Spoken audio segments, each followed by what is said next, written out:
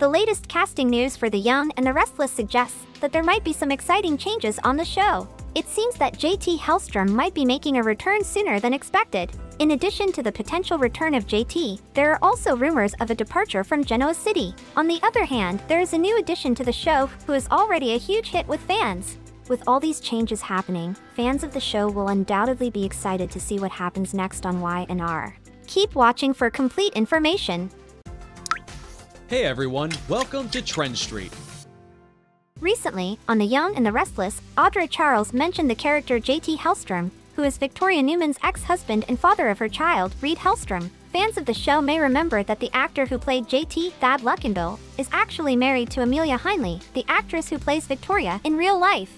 JT was originally portrayed as a stand-up guy, but his character took a dark turn when he became abusive towards Victoria. One night, he showed up at her house, hoping for reconciliation, but things quickly turned violent, and he ended up hitting her. Luckily, Nikki Newman arrived on the scene and, along with Phyllis Summers and Sharon Newman, helped cover up the incident by burying JT, thinking he was dead.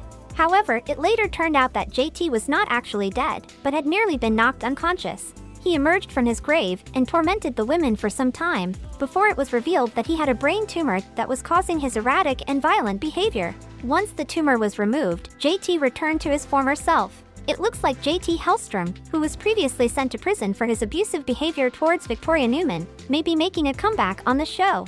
Despite the fact that JT could have blamed his actions on his brain tumor to avoid prison time, he was remorseful and wanted to pay for his crimes. Now, it seems that he's out of prison and could be on his way back to Genoa City soon. Audra, who wants to distract Vicky from her infatuation with Nate Hastings, is pushing Elena Dawson to interview JT on her podcast. However, fans of the show were disappointed that JT, who was once a super nice guy, was turned into a monster. They would love to see him return without the brain tumor and go back to being the good guy he once was. Meanwhile, there are rumors that Tucker McCall may be leaving the show soon.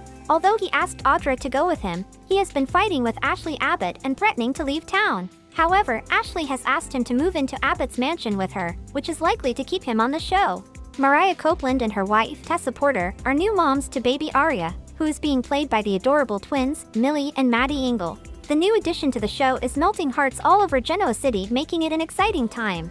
Are you excited about JT's return? Comment down below, and as always, keep coming back for more Y&R news and spoilers. Thank you for checking this video out. Don't forget to hit that like button and subscribe to our channel for new videos every day. Turn that bell notification on if you want to hear from us, and comment down below if you've subscribed, and we'll make sure to reply and thank as many of you as we possibly can.